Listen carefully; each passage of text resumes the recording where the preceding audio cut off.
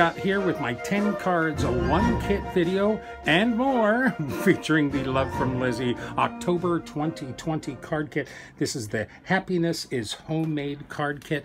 As usual, I do take the five card stocks in our kit and cut them down to use them as my card bases. Let's dig right in. My first card on a red card base is spread some love with a little honey and bread. you know me, I love illustrating a sentiment. this is pattern paper die cut with a Lawn Fawn stitched rectangle die, surprise, surprise, that's matted on a thin white mat and glued to my red card base. This is a thin strip of that picnic tablecloth pattern paper, glued down, lined with a couple of our strawberry glitter peel-offs. These both are ephemera pieces attached to this cardstock with some foam tape. This is glued down to the cardstock. This is a sticker from our set, The Honey. I thought all three of these went very well together. I took our little teapot die and I cut the hearts out of that teapot die from a scrap of uh, white glitter cardstock. Now, I didn't have any yellow glitter that actually matched my honey, so I just used an alcohol marker to color up my white glitter cardstock. I always save my white glitter scraps, no matter how small, because you can color those and turn them into most any color at all. Spread some love. I really like this card quite a lot. You know I like my red. Now we had a lot of recipe card pattern papers in our kit, so I thought I'd try and see if I could use those recipe cards not just as recipe cards, but as a background for some of our cards. So this is on the Sunshine Yellow card base, and we have our Happiness is Homemade card with that background of a recipe card. Now I did have to add some matching pattern paper to the bottom of this recipe card because it only had it going across the top. You can tell this is a little different scale, but I think it still matches well and works well with this recipe card background. I cut those down to four inches by five and a half inches, added a thin black mat, and glued that down to my sunshine yellow card base. I stamped the happiness is homemade using VersaFine Onyx Black ink, and I did emboss that with some clear embossing powder for a little shine.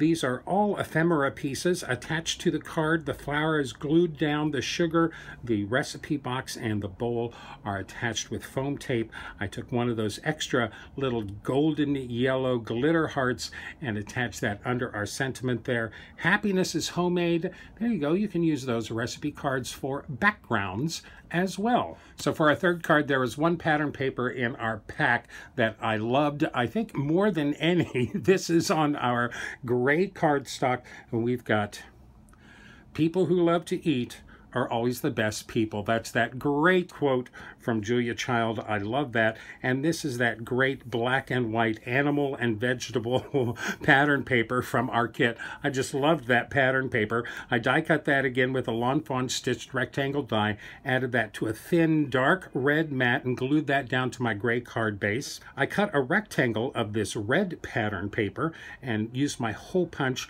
to make little notches in its corner and then matted that on a white piece of cardstock, glued that to my card front. I mounted up this ephemera sentiment using some foam tape and then added these two stickers, the beets and the carrots. I destickified those, added some foam tape to the back of those, and added them to my card front. People who love to eat are always the best people. This would make a great thank you card for your Thanksgiving dinner hosts. Anybody who serves you a lovely dinner and you want to give them some thanks. People who love to eat are always the best people. Thank you, Julia Child. I love this black, white, and red card. Okay, I think we all know that bake in particular is an easy word to pun. So here we go. We're going to do some bake puns here. This is on our soft pink card base, and we've got uh, bake someone happy. I really like this. This is one of our little two inch square cut aparts. I just cut that out of our sheet, added that to a thin white mat. I die cut this pattern paper again with my Lawn Fawn stitched rectangle die, added a thin white mat behind that, glued those down to my pink cardstock. And then these are both pieces of ephemera. I glued them together, added them to the top of this card with some foam tape, added a few sequins sequins from our sequin mix. Yes, those are pink sequins. Bake someone happy. I like this quite a lot. A mixer and bowls. What else are you going to do but bake? Okay, more baking coming at you. We are on the pale blue card base, and we have Bake the World a Better Place. That's another sentiment from our stamp set. Bake the World a Better Place. I die cut this piece of pattern paper with a Lawn Fawn stitched rectangle die and matted that to a dark gray mat and glued those down to my soft blue card base. This is actually the oven from the large side of our pattern paper. I simply cut off the top of the oven so I could use it on this card. Fussy cutting, it was pretty easy except for that damn handle on that teapot. That was a little over fussy as far as I am concerned. But Bake the World a Better Place, what it looks like this handle here, you can grab and open up and we've got a little globe inside our oven. Uh, again, I like illustrating my sentiments whenever I can. I just cut this oven handle from a piece of dark gray cardstock. This is another piece of pattern paper glued to the top of that and down to the printed towel here. So it still looks the same. Our oven is all attached with some foam tape and the back of our oven door is covered with gray, as well as the back of the oven. This is an old globe image I have in my image files. I printed that up and cut that out, put that inside my oven with some foam tape. Bake the world a better place. I added some sequins and even some sequins on the teapot right there. I don't know if this is some kind of a metaphor for global warming or if it's a really bad pun. I just thought it was a cute image to use with this oven. Our little interactive card here, Bake the World a Better Place. Hey, I'm using such large pieces of pattern papers on my cards here. I'm starting to worry that I'm going to run out of pattern paper. On our Sunshine card base, again, we've got you Bake Me Hot. Using another recipe card for my background. Now this time I went in and pretended like I was Grandma Fortner baking a cherry pie, listed some ingredients on the side over here. I then took some frayed burlap distress oxide ink and ink blended up all of the edges. I wanted this to look nice and old and aged. I printed this sentiment directly on this pattern paper using my Silhouette software and the Smoothie Shop font. I thought, thought that worked really good for this card. You bake me hot. I thought the oven mitt said hot. Of course, a pie always says baked. I actually cut this pie out of one of the cut-apart sheets. It was actually the largest pie in our kit, so I fussy cut that pie out. I attached it to a scrap of white cardstock and then fussy cut a little white border around our pie so it would match our oven mitt here, which is an ephemera piece. I added some uh, Spectrum Noir sparkle pen to my heart and then a little Nuvo Drops Morning Dew crystal drops on top of that for a little shine and a little dimension on our pie heart there. A few more sequins adds a touch more sparkle. You bake me hot. Now, one of the tags on our tag cut apart sheet, I really liked the sentiment, but it was pink, so I kind of avoided it for a while. But in time, the sentiment grew on me. I had another soft pink card base, so here we go. You're flipping awesome. this is a great Valentine card, a great appreciation card, a great thank you card for whatever. I fussy cut our tag away from the our tag cut apart sheet and I glued that down to a piece of black tie glitter cardstock and then cut a little mat for that around there. I added some of the charcoal ribbon in the top after punching a hole through that label there. Now my background here, again, I'm worried about running out of pattern paper. I actually used the Love from Lizi Candy Stripe background stamp. This was from September of last year, September of 2019. I used that background stamp to stamp my card base. I used some worn lipstick distress oxide ink, stamped that right on my card base.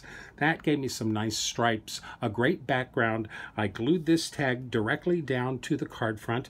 I then took one of our wood veneer die cut tags and I colored that up with some frayed burlap and some walnut stain distress oxide ink colored that all up added a piece of our charcoal ribbon to the top of that and then I die cut another piece of that black tie glitter paper with our medium-sized heart die, glued that to the middle of our little cutting board here, added some red sequins for a pop of color and a little bit of shine. You're flippin' awesome. A great, very useful card for any friend or your favorite pancake aficionado. I have a lot of friends that have birthdays this time of year, so I think my mind constantly goes to birthdays anyway. This is again on a gray card base, and we have Life is Short, eat dessert first. Definitely a birthday card for those of a certain age. Pretty simple card here. Again, I took that picnic tablecloth pattern paper, cut a strip of that, glued that down to the center of my gray card base. I then lined the, both edges with all three sizes of our strawberry glitter peel-offs. Those look great. I really love that red color peel off. Lots of glitter on that. And then these are two pieces of our red satin ribbon that are glued down to the sides as well. Both ephemera pieces here. Life is short, eat dessert first. Mounted up with some foam tape. I took my Spectrum Noir sparkle pen to my cake here, gave it a little glitter, and then attached that to the card front using foam tape. Really pretty. That red and gray works well together. Life is short, eat dessert first.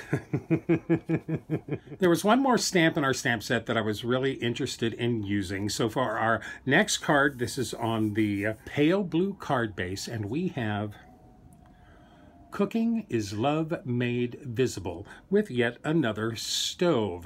Again, I'm trying to spread out my background pieces. I took one of the white cardstocks that were in our ephemera pack and I stamped this stamp on it. This is a Carta Bella. This is a designer diamond A2 background stamp. Use this very little, but I thought it would work very good in a kitchen setting. So I stamped that on that Love from Lizi super smooth cardstock I used frayed burlap for that, and then I masked off the bottom and used my walnut stain distress oxide ink to ink in the bottom floor here. I cut a thin strip of medium brown cardstock from my stash to stand in as our little floorboard here. I then met die cut that whole piece with a Lawn Fawn stitched rectangle die, matted that to a darker brown mat, and glued those down to my pale blue card base. I stamped this sentiment using walnut stain distress oxide ink, and I embossed that with some clear embossing powder. I then die cut that out using some partial die cutting with a smaller Lawn Fawn stitched rectangle die. And then I colored the edges of that to make it look more like a frame. I just used my colored pencils on that. This oven is one of our ephemera pieces. This heart is an ephemera piece. Both of those are attached to this card front using foam tape. And then I took our smallest little heart die that we got in our die pack and die cut three more little hearts from that white glitter cardstock and glued those as if they were the steam coming out of our teapot. I don't think you can make cooking more visible than steam coming out of a coffee pot. Cooking is love made visible. I really like this. I really like that old-fashioned stove ephemera piece. I'm glad there were a few of those in our kit. And then there was this one sticker I was dying to use. This is on our last red card base. And we have Live a little, lick the bowl. Happy birthday. Another birthday card. If you can't lick the bowl on your birthday, then when can you lick the bowl? I dug out this old LDRS. This is Fancy Rectangles and Layers die. I thought this would work really well and actually has kind of a homey feel to it. I die cut another piece of that Love from Lizi cardstock with that smaller one and printed our sentiment on that. This is actually the Lobster 1.4 font. I'll have links to these fonts on my website over at cardcutups.com. Originally, I was just going to do Live a Little and then use a Lizi die for the happy birthday, but I decided that both of those needed to match, and the type on that actually matches the type on our little sticker quite well. Live a little, lick the happy birthday. I die cut one of our pattern papers with the larger one of those dies, and I also die cut a scrap of black cardstock to be a little drop shadow behind that. I glued our three pieces together and then down to our red card base. I destickified my three stickers from our sticker sheet and added them to the center of this card using foam tape, and then for a final touch, I used some of the mini hearts that we got in our add-on assorted peel-off pack from last month's kit. I'm really loving the red that Lizi has been giving us lately. Live a little, lick the bowl, Happy birthday.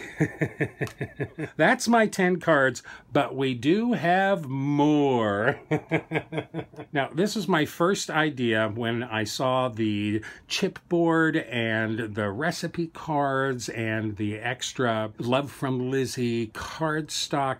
So I immediately thought of a art journal. So this is our little art journal that we have for this month. This actually opens up and has watercolor paper inside. We've got two panels, we've got two panels, we've got two panels, and these actually open up to make a full accordion style art journal.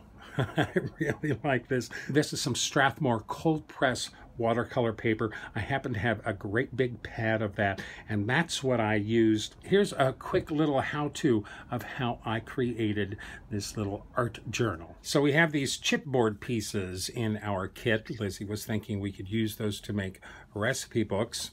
I thought I would share with you how to cover a piece of chipboard with pattern paper. Now, I was going to use this pattern paper from our kit, but I need an extra inch than this. This is four by six. I need five by seven to wrap around the edges of my cardstock. And I cut a hole in this right there. So I can't use this. I'm using a different piece of pattern paper from my stash. This is a five by seven piece of cardstock, an inch larger all the way around. To get started, we want to wet our cardstock. Wet it from the front Get it nice and wet. You don't want it sopping, but you do want it to soak up a little water. I think that helps the glue suck into the paper fibers really well. If your paper starts to curl like that, then you've got water on it. I take just an old phone book. Now this is simply PVA glue. This is literally Aleene's tacky glue that I have thinned down with just a little bit of water just to make it brushable, easily brushable. I have an old brush here and I'm going to cover the entire back with plenty of glue. This is thinned down Aleene's tacky glue you don't want any real puddles, but you do want a really good layer of glue down. You can always add more glue later, and you want to go right to the edges, which is why I'm doing this on an old phone book. Plenty of glue. Get your paper nice and wet, and I'm going to try and center my chipboard right in the middle of that. So I've got an even margin all the way around. We'll just press that into place. Now you're going to trim your corners. Now this is your big secret here because if you cut to the corner, you're not going to have anything to cover that corner. So you want to stay a good quarter of an inch away from your corner when you cut your corners off. A good quarter inch away from your corner when you're cutting your corners off. Do that on all four sides. And then our last corner here, trimming the corner edges away. And then you can fold up your edges. You want them to glue to the sides of your chipboard and then fold it on over. Try and keep things nice and tight. Do the same on the other side. Fold it up along the edge of your chipboard. You can also press that down if you like. Fold that on over. If you've got a little bit of glue shy, you can always push a little extra glue underneath there. Those are down good. Now let's go in tight here. And you've got this little extra piece here that you want to fold over your corner. Just fold that over your corner. I use my bone folder because my fingers are too fat. Just fold that over the corner. Do that on all four corners. And I'm going to add just a touch more glue to these two flaps just to make sure they get adhered well. Then we'll fold those edges up and over. Fold those edges up and over. Now you can also take your little damp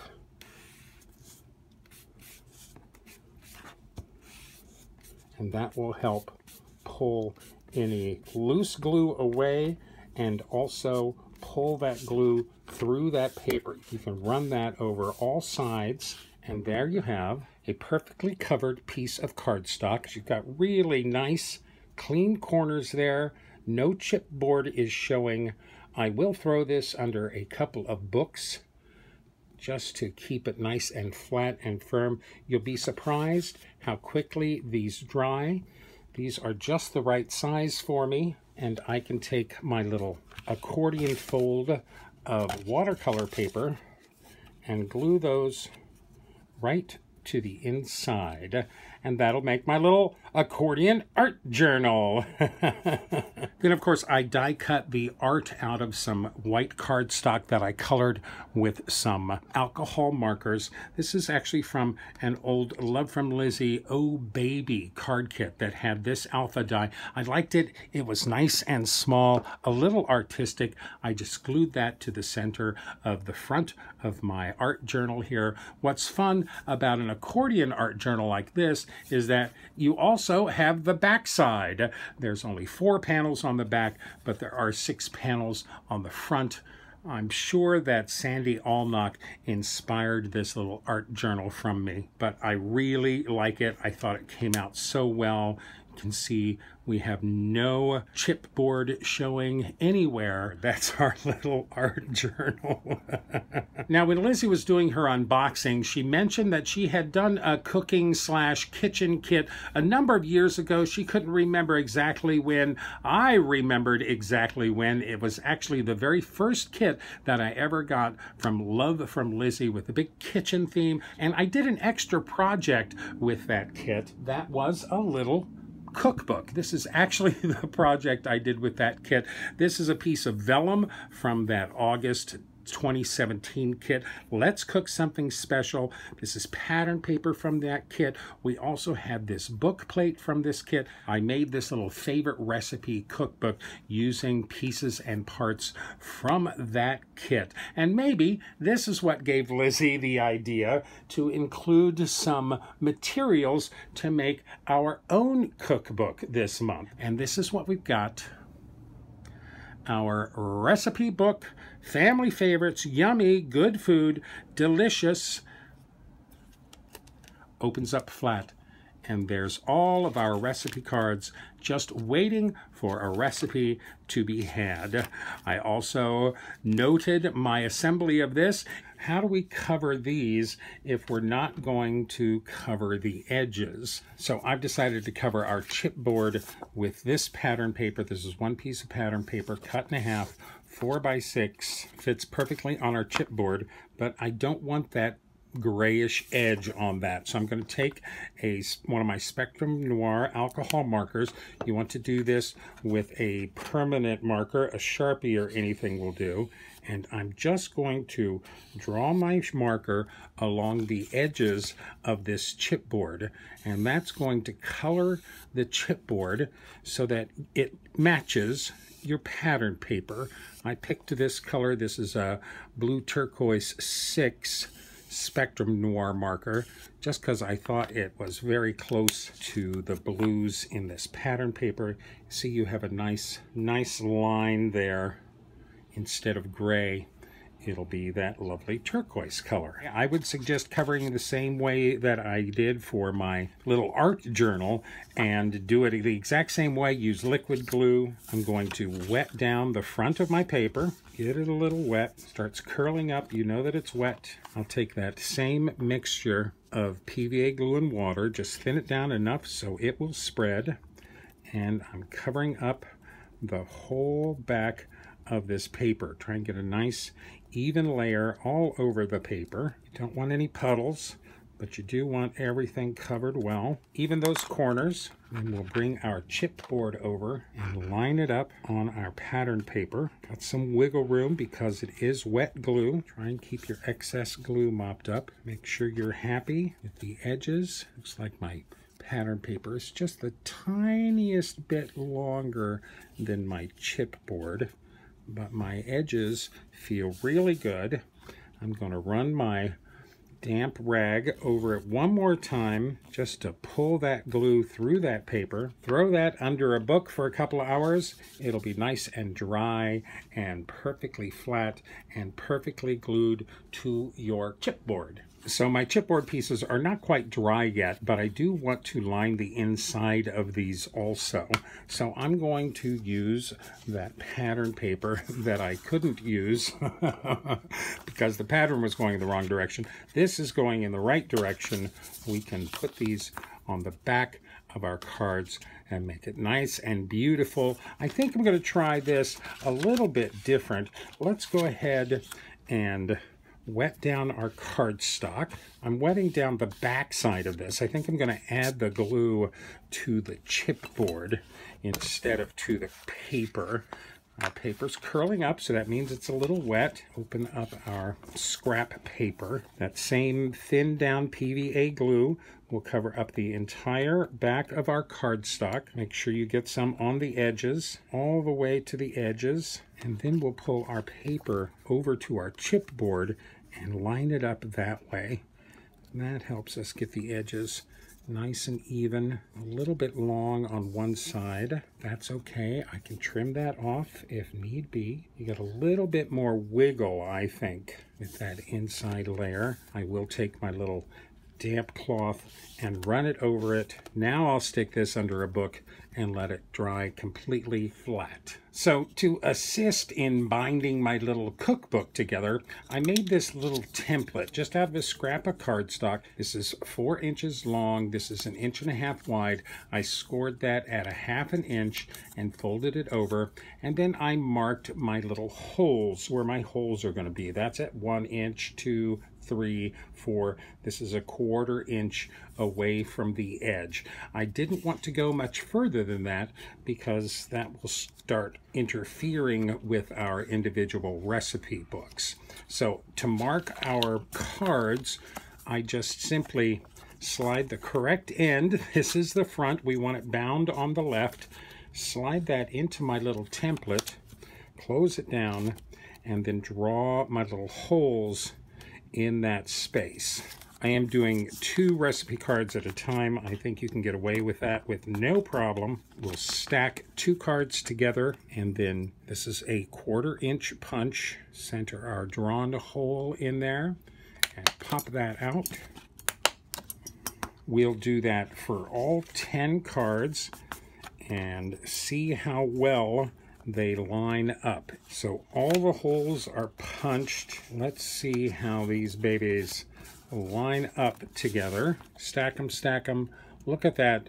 Those holes go right through, perfectly lined up to go inside our little recipe book. And here's the two covers of my cookbook, all dried nice and flat. Their edges are nice and clean. I did trim off any excess paper that was sticking over the edges. Let's punch some holes in these. Since I've already punched our recipe cards, I'm going to use those for my template. Slide one right on top of our top cover. Give a mark where those holes are. And we'll take our eighth inch punch. I think I said this was a quarter inch punch, but this is actually an eighth inch punch. And we're going to punch out those two holes right where we drew them. This should go through this chipboard with no problem. There we go. That's one hole. Line it up with our template. Punch. There's our second hole. Now we're going to reinforce these with some grommets. I happen to have some grommets in my stash. I picked these little dark blue grommets. But these are eighth inch grommets. So I want the pretty blue side on the front. Just pop that in there. Then you have the back part of your grommet It goes on the back. I think I'm going to do a little, see if I can mash this down just a little bit. Make our chipboard just a little thinner right at that hole. That's good. I've got some good grommet sticking up. Push the holder clip on the back and you just take your little tool, put that on top, cover your ears, give that a whack or two, and there's a lovely grommet in the front of our piece. We'll do that one more time. I'll smash that chipboard down just a little bit right there at the hole. Slip our grommet in, add the sleeve, and use our little grommet tool. This is a really inexpensive set. I think it's a Darice set that actually comes with the little tool as well. There's our grommet holes in the front. Let's do the same on the back. Now, if I'm going to go to this much trouble to make this, I want this to last a while, so I don't necessarily trust these holes. I wish I had some hole reinforcements to go on top of these. Fortunately, I can make my own hole reinforcements. I'll take my eighth inch punch and punch out a hole. This is some nice thick white cardstock. And then I'll take my quarter inch punch, line that hole up on the inside, punch that, and that gives us a nice little hole reinforcement right there. I've already made a bunch of these.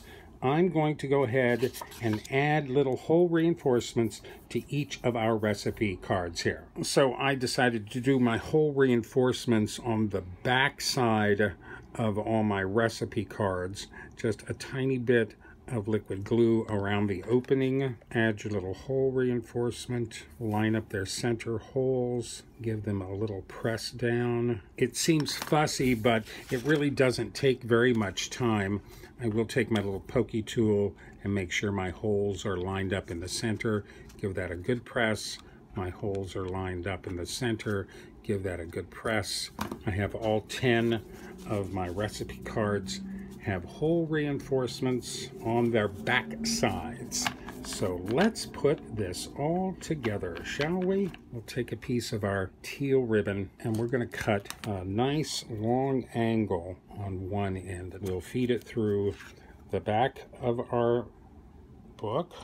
Let's see if we can get that through all of those recipes all at the same time. There it is. Great, we'll go ahead and cut this off. We'll cut this down to match the other side. Then we can thread our ribbons through our top cover, both sides. And I think I'm going to open this up flat to tie our bows.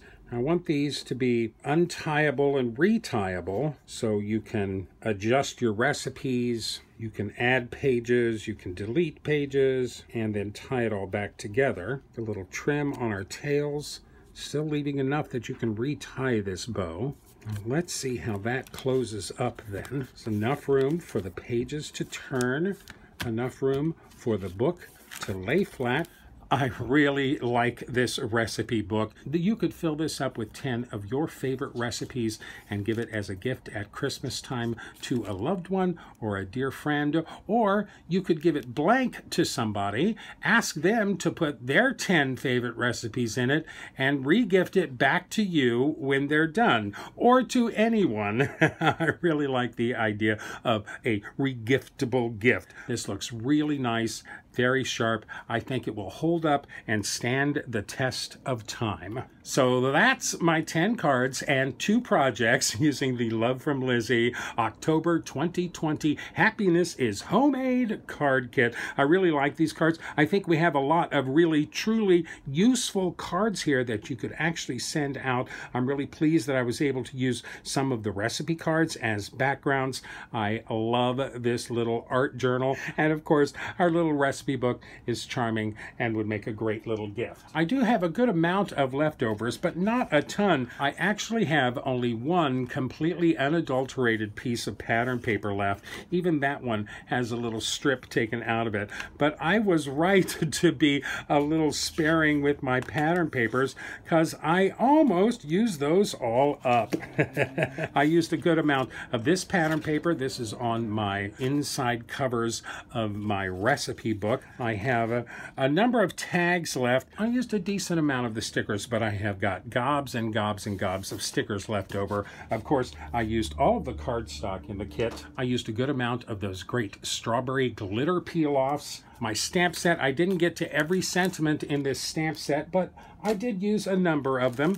I used a little bit of everything in our embellishment bag. All of those extras will find loving homes in my stash. I had a really fun time working with this kit, coming up with these cards and making these two little projects. I hope you enjoy them too. This kit is still available at Love from Lizi as of posting if I've managed to capture your imagination or spark a thought or two in your mind. Please use my links in the description down below. When you do go shopping at Love from Lizi, you know it is extremely appreciated. Helps support this channel and helps keep my head above water. Please be safe out there. Be careful. Take care of yourselves. Take care of your loved ones. Wear your mask. Avoid crowds. We are still far from over with this horrible pandemic that is going on. As always, I thank you so much for spending your time with me here. I hope I was able to give you a grin, maybe a giggle, Please remember to like me, list me, pin me, post me, share me with all of your friends. Don't forget to use a hot pad. And as always, I wish you happy crafting.